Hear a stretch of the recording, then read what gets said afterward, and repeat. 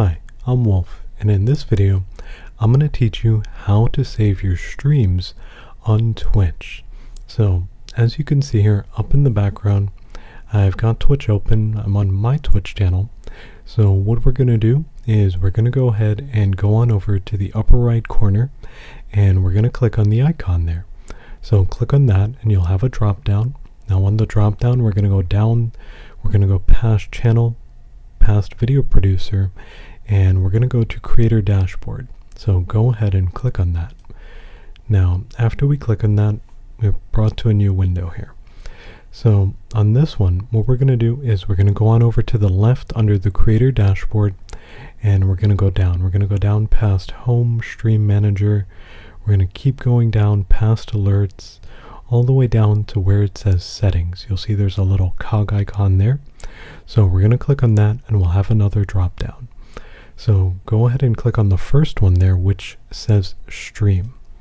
So after clicking on that, you'll see it says stream key and preferences. So in this first box, we're actually going to go past this first box down to the second one.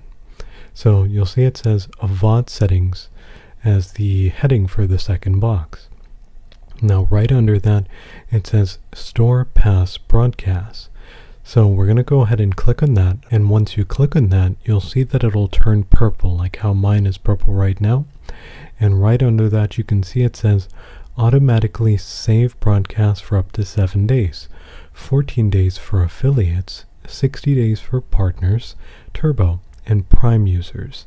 So your streams will now be saved for 7 days unless you're one of these other options here and then it'll be saved for a little bit longer. Now, if you want your streams to be saved permanently, whether that be downloading them or uploading them over onto another site like YouTube, I will have another video going over that. I'll put that and I'll put a card somewhere around so you can just look around and click on that if you like, and that'll go ahead and teach you how to save your streams long term.